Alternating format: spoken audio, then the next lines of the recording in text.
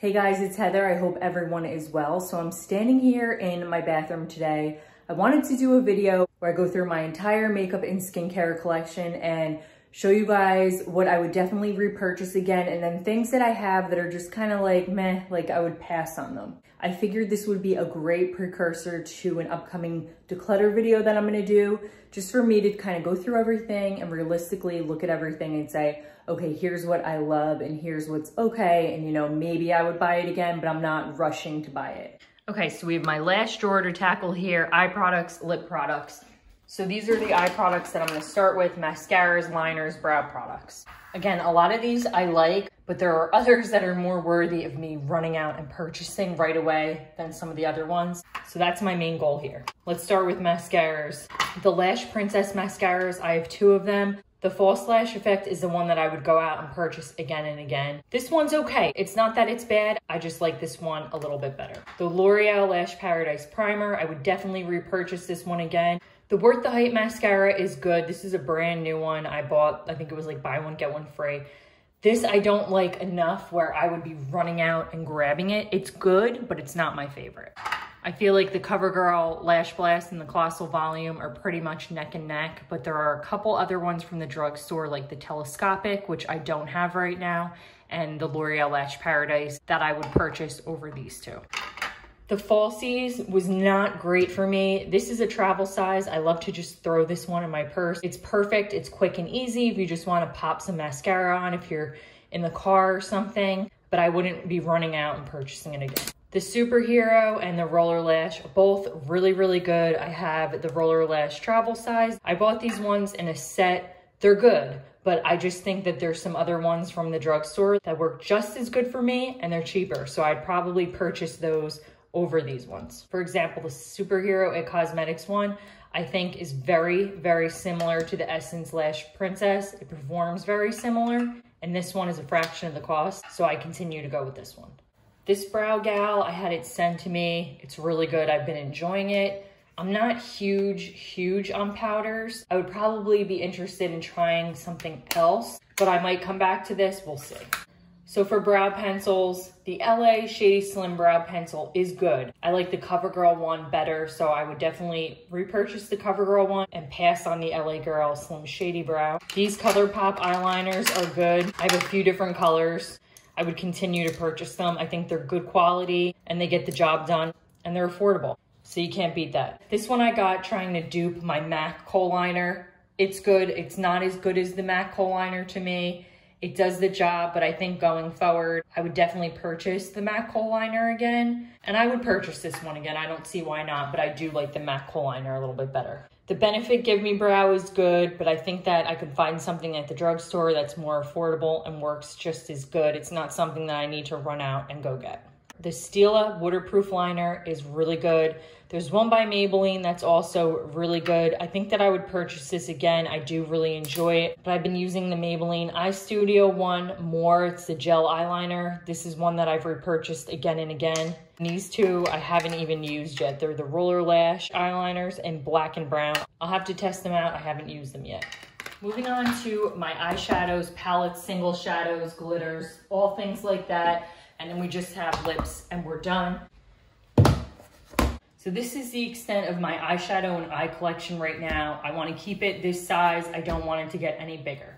That said, I'm pretty happy with everything in this collection. There's nothing that I want to declutter right away, but I'm definitely not using all of these palettes. I'm trying to switch it up and rotate what I'm using, but it's just impossible to be able to get through all of this shadow. So I'm gonna start with my smaller single shadows that I've been into. This is the e.l.f. one in Rosewater. I mostly just use the top three. It was only a few dollars and it's good. It doesn't last that long, but it's good. And I just like that all the colors that I need are right here in this little tiny compact and I'm not having to search through, you know, huge palettes to try to try to get color. Another one that I've really been enjoying is this Maybelline Single Shadow. This is in the shade Dusty Rose. It almost reminds me of like NARS Orgasm. It has that really, really pretty color. It's perfect for summer. It's just a really flattering color. It was only a few bucks. They have a couple other shadow colors that I want to try out as well because I want to get more into just using single shadows or just very small things that I can just pop in my purse that's just easy to travel with and take on the go. So I have some single shadows from L'Oreal and I've repurchased these a couple times. This one is in the shade Bronze Taupe. It's a really, really pretty bronzy color.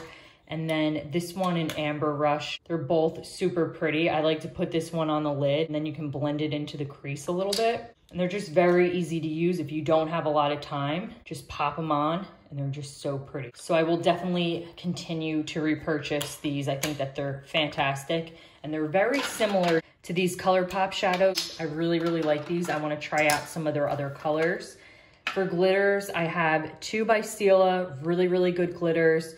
I have Kitten Karma and Diamond Dust. These are really, really good glitters. They stay in place. You don't need glitter glue. And I think they discontinued these. These are the ColourPop Supernova shadows. And my favorite is this Walk of Fame one. I think they discontinued them last year, but they are stunning. I wish that they would bring them back because they're way more affordable and I think I like them better than the Stila ones. Okay, so for my palettes, I think that there is a couple things, maybe one thing in here that is limited edition. That's the Morphe Kathleen Lights collaboration. You can't get it anymore, so I'm not even gonna talk about it. So the Anastasia palettes, I have Soft Glam and I have Modern Renaissance, and I've already repurchased this one. This is my second palette. Would definitely repurchase both of these. I have the Morphe Jaclyn Hill one. Okay, this one is Dark Magic.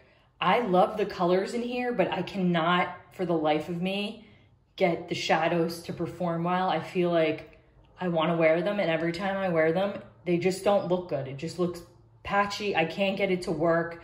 Looks like I have a black eye, but I do love, love, love all the shadows in here. But for that reason, I wouldn't recommend getting it and I wouldn't repurchase this. The Alamar Cosmetics one is nice. I really love the packaging. It's beautiful. The colors are beautiful.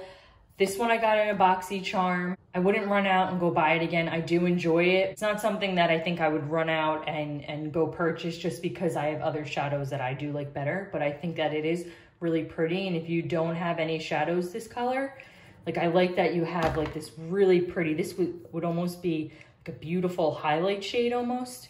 And then there's this really pretty green. So if you don't have anything this color and then there's some really nice transition shades, I would definitely pick it up. But I'm not really reaching for some of these colors. So that's the reason why I probably would pass on it. So for drugstore, I have this e.l.f. one. This is the new classics. I love this palette. It gets a lot of love. This is something that I'll put in my bag or travel with because if it does get broken or damaged, it's not that expensive. It'll be a lot more affordable to replace than one of my other ones that are a little bit more expensive. And here's a good example, like the Cosmo and the Lacoste one are very similar. This top green one is very similar to the gilded one. There's a lot of very similar colors in some of my other palettes. All right, let's move on to my ColourPop palettes that I have. I have a few and then I have a couple Kylie ones. To me, with the ColourPop ones, they come out with so many. This one, when it came out, I don't know if it was the packaging. I just, I loved it. So pretty. These glitters, they all just popped out at me and I just needed it. Their marketing is fantastic in my opinion. they just make you want to buy everything. It's just so pretty when you swatch them. You can get a ton of good looks with this palette. My problem is, is these glitters are very chunky. They are beautiful, but you're gonna have fallout and it's gonna be all over your face. That is at least my experience. I feel like they don't, it's very hard for them to stay put. If I was out at the store and knowing what I know now about this palette, would I buy it again? I would say, yeah, I would buy it again. There's some colors that I really like and it's worth it. Next up is the Dream Street palette. I do like this palette. I've used it a lot more in the winter. I love all of Kathleen's collabs with ColourPop. I think they're great. I just don't reach for it as much anymore. That said, I don't know if I was out at the store that I would have to have it or want to buy it again. Moving on to this ColourPop one. This is the Yes Please palette. This color story really popped out for me for like the spring and the summer. I thought it was so pretty. I didn't have anything that was like really bright yellow and orange. Now that I have the Sweet Talk palette, if I had to pick between these two, I would go with the Sweet Talk one just because there's a couple more shades that I like. I would purchase it again, but it's not my absolute favorite ColourPop palette. So the Kylie Cosmetics. I think, here's the deal with this. This shade right here, I love. This is my second palette of this one because of this shade. I bought this palette for this shade. I'm trying to move away from getting palettes just for one shade. Like I really wanna like every single color. And all these other colors I can find somewhere in my other palettes. So for that reason, I think if you're looking for a bronze palette, I think this one is really good. But I also think that the ColourPop ones are just as good and they're a fraction of the price. So I would probably try to find something similar from a brand like ColourPop. This is another one. This is the Blue Honey palette. I do like this one again, but I think that I have a few other shades that are similar in some of my other palettes that I like a little bit more. So I'm not sure if I would run out and repurchase this again, but I don't know. I could change my mind. Moving on to my larger palettes. This one I feel like is very underrated palette. I don't hear too many people talking about it. I think the color story is gorgeous. I love this color. I love the green. I would definitely purchase this one a hundred times. Again, you get like your very neutral looks up here that you could go with, and then you have your Fun Pops color. I totally think this is a fantastic palette and it needs to be talked about more. The Toddy Beauty one is another one that I had to have and I really do like it. I mainly had to have it for, you guessed it, these glitter shades. And I do think that these glitters perform better than the ColourPop ones if you're wondering as far as like staying in place. I find that I get a little bit less fallout. Look at how pretty that is. So this palette, I think it's a good purchase. I do really like all of these colors. The pinks, the orange, everything. I think it's got something for everybody, but I would definitely repurchase this palette again. Okay, I have two larger palettes. This is the original Jaclyn Hill palette. I think that if you do not have any large palettes like this, or if you don't have a big eyeshadow collection and you're, if you're looking for something that's good and has everything and it's a good price point, this is gonna be your palette. I think it's great for that. So if I was at the store and I didn't have this, I would repurchase this again for sure. Okay, so the only other large Morphe palette I have left is the 35F. This is the Frost palette. I like it. There's some really, really pretty stunning shades in here. Great shadows. The problem is it is so large that I don't want to have to bring out a huge palette, you know, just to use one shadow. So these three are three different colors and they look very similar. So to me, it's like I have this huge palette with a lot of colors that look extremely similar. What is this, like gray? This one's kind of cool. I don't think, some of these I haven't, I honestly haven't used. For that reason, I probably wouldn't like run out and repurchase it again. Okay, so the last and final category are my lip products. So I'm gonna start with my liners. I have a couple MAC liners. Out of these two, I like both of them. If I only could pick to go buy one again, I'd probably go with Dervish just because I feel like I'm using this color a little bit more. Okay, so I think that Rimmel makes a really good lip liner. It's their Exaggerate. I have one red. I'm not huge into reds. I might have like a couple of red lipsticks. I have a gloss and then I have a couple other shades. But the Exaggerate lip liner is so affordable and it's just so creamy and nice. You can put this on if you want and just put a little chapstick over it to give you some nice color. I would definitely repurchase. The Milani in This Is Most Natural. Really good affordable drugstore one. Definitely repurchase. The Wet n Wild Gel Lip Liner. This is in Bare to Comment. Again, it's a really pretty, very, very creamy lip liner. I would definitely repurchase. I am a huge fan of the retractable. I don't really like having to use ones with a sharpener. And then my favorite natural one, this is the Maybelline Color Sensational and I don't have anything quite this color, I would definitely repurchase. So all the retractable ones from the drugstore that I have, I think I have four different kinds here, are all very good and I would definitely repurchase. So the ColourPop ones, don't get me wrong, they're good. The Kylie ones, if I can dupe these liners with something from the drugstore, I would probably lean towards going with the retractable because I'm not a huge fan of having to sharpen pencils. But for the ColourPop one, if I could only pick one, it would definitely be the Aquarius Lippie pencil. See, like when you sharpen them, they don't come out right. And then it gets everywhere. It's just messy. I mean, they're good. I just, if I can find something like those two shades to me, I don't know if it's how it's coming off on camera, but These two look very similar. Again, if I can find something from the drugstore, I'll probably just go with that. So that's it for my lip liners. For my lip pencils, these are like the lip and cheek pencils. I do really like both of these. I like the NudeStix ones a little bit better. This one is in Whisper. I've repurchased this, love it. And then this is Glossy Kiss. It's by a brand that I'm not really familiar with, but I like to keep it in my bag. It's just really easy and a really pretty sheen sheer. I don't know that I would go and repurchase it again, but it is pretty. The butter glosses, you guys know I absolutely love, love, love these. I have a few different ones. I have cherry pie, I have creme brulee, eclair, angel food cake, but I would definitely repurchase those ones.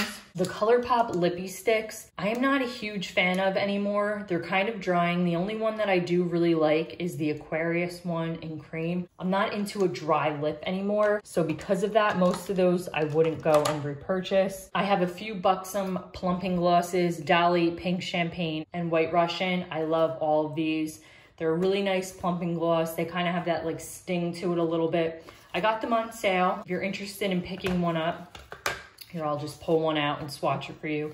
I would recommend getting them when they are on sale because they're a little bit pricey. They smell really nice. They have like a vanilla scent to them and they're just perfect if you want to put over a lipstick just to give yourself like a little plumpness. And these are the three shades that I always go with. So some other lip plumping ones. These are the So Juicy ones from ColourPop. I really like these. I would definitely repurchase them. I have a few different ones. Let's see, I have Roundabout, I have Stuntin', and I have Partly Rowdy. I like these to just throw in my purse to kind of pop on. If you're looking for a more affordable plumping lip gloss, I would check these ones out by ColourPop. They do have a bunch of different colors to choose from. So to stick on the same kind of category as more of like a plumping gloss, I have the Becca ones. These are a little pricey. I recommend getting these on sale.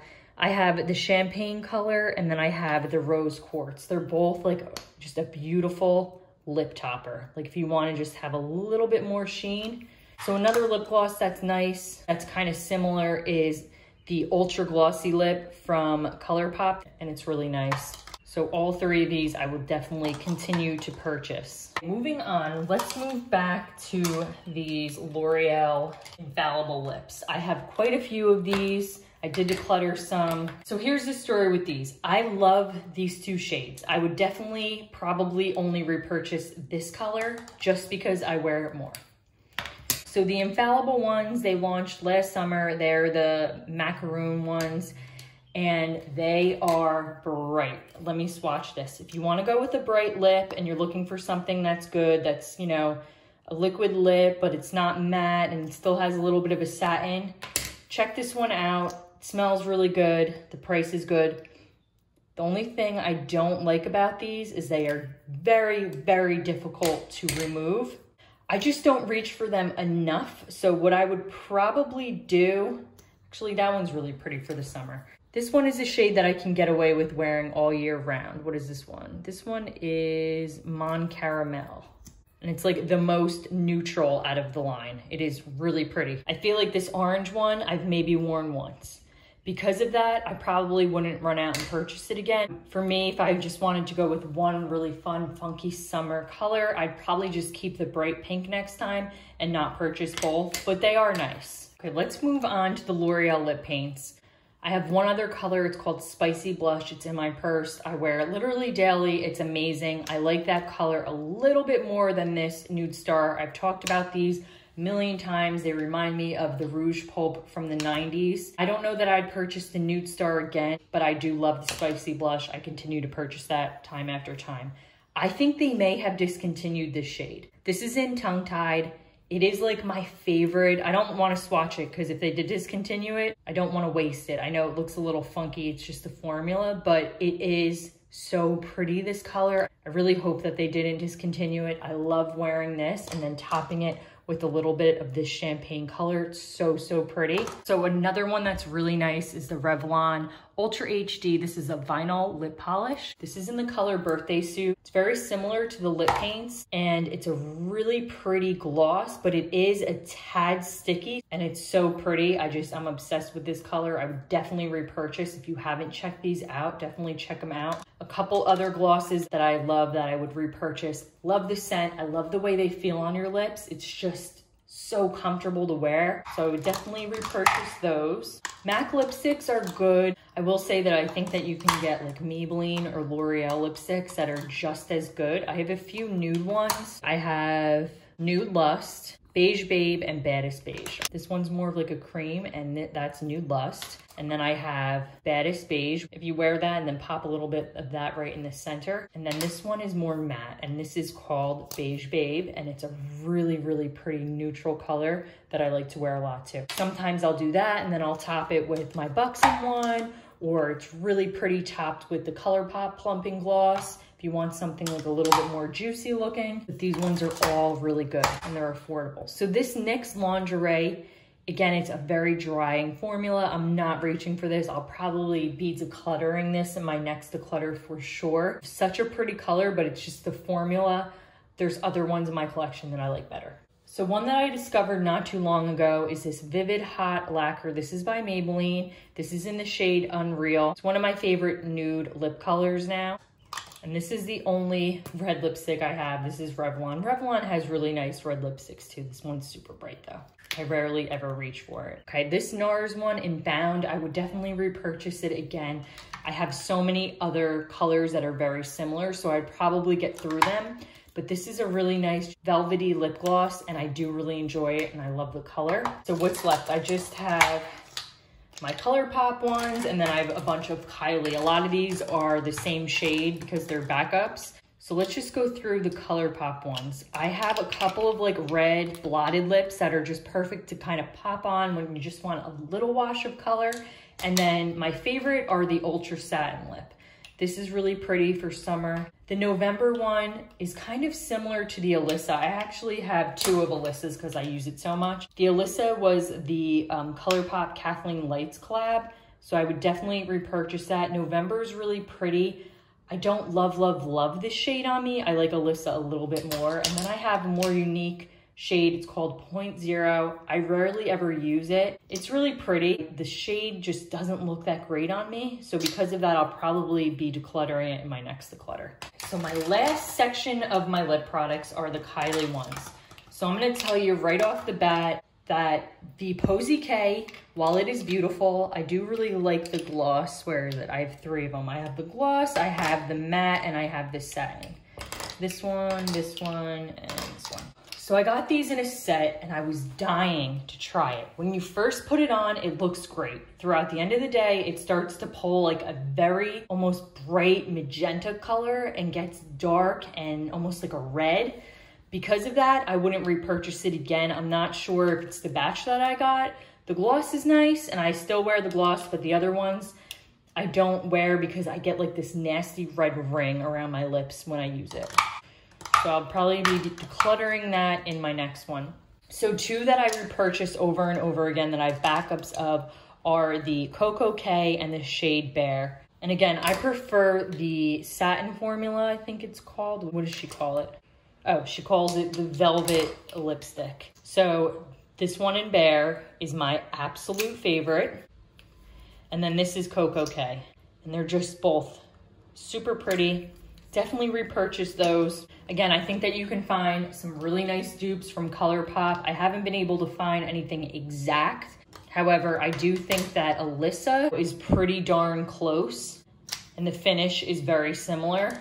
You could try that one out if you're looking for a dupe, but I do really like her glosses. And then I also have Candy K, which is like a little bit of more of a darker nude. I'd probably purchase it again, but I wouldn't be running to go get it the way I am with the other two. I have one more quick category to mention that I totally forgot about, and these are my chapsticks or lip products. So this lip scrub, it's okay. It smells good. I think it does the job. I don't know that I'd be running out to get this exact one. It's a little gritty. It's a little, I feel like it dries out quickly. I'd be interested to try something else. These Nivea ones are great. This blackberry one, I really like. It's like a tinted and the scent's nice. These are supposed to be similar. This formula is very different. This is the vanilla buttercream. It's super drying and I feel like it's waxy, if that makes sense. So I wouldn't repurchase this one. This Bite Beauty one, it is the Intensive Lip Mask. I really, really like this. I had this sent to me, so I've been trying it out and I really, really like it. If you have dry lips, you will love this. My Neutrogena Tinted Lip Balm, I've talked about this in other videos. I'm actually like pretty much out of this. It's all I have left on that. But I would definitely repurchase this one. They have a bunch of different colors to choose from. My favorite part about it is that it has sunscreen in it. I feel like there's not many lip products that come with sunscreen in it. And when you can find ones that do, you got to pick them up. My last product is the Dermalogica. This is the nightly lip treatment. I've been using this for a couple years now. I put this on my lips. You just push this little button. I don't want to waste it because it is expensive. You push the button down, some product comes out of the top, you wipe it all over your lips and around like your lip area and it's supposed to help with like aging and wrinkling. I like to think that it works, so I'll continue to use it. I like the way it feels on my lips. I'm not sure like if it has made a huge difference, but I do really like it and I've been repurchasing it. So here is the repurchase side. Here's everything that I would probably pass on or that I have other alternatives that I like better. So that is it for today's video. If you haven't subscribed yet, please hit that subscribe button down below. It will help you find my videos quicker and I'll see you guys in my next one. Bye guys.